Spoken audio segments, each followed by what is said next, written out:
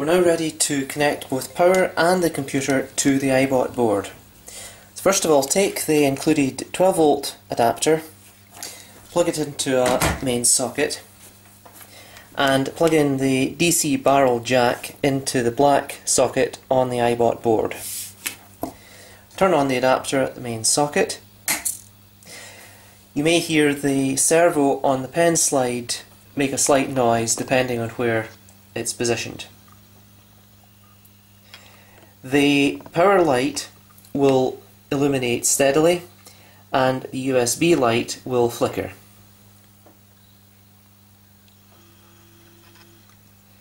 Next, take the USB cable